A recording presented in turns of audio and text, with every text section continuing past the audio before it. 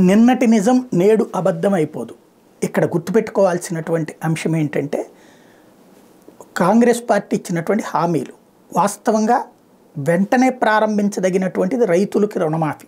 ఎందుకు ఆపిందో తెలియదు ప్రభుత్వం. రుణమాఫీ ఎందుకు చేయట్లేదు తెలంగాణ ప్రభుత్వం? లేదు మహిళలకు ఇస్తానటువంటి డబ్బులు. మహిళల లిస్ట్ ఉంది. దానికి మళ్ళీ అప్లికేషన్స్ పెట్టుకోవాల్సినటువంటి అవసరం లేదు.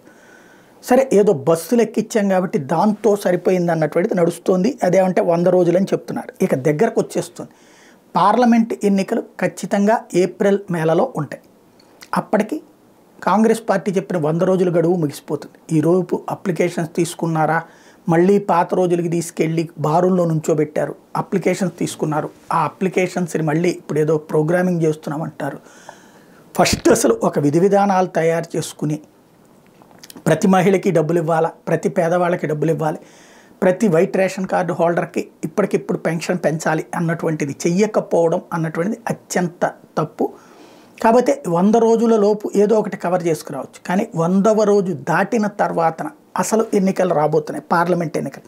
ఆ లోపు కనుక ఈ హామీలు నెరవేర్చకపోతే అది అతిపెద్ద ఎదురు దెబ్బ అవుతుంది. అప్పుడు ప్రజలు క్లీన్ స్వీప్ చేస్తారు ప్రత్యర్థులకి. అది గుర్తుపెట్టుకోవాల్సింది.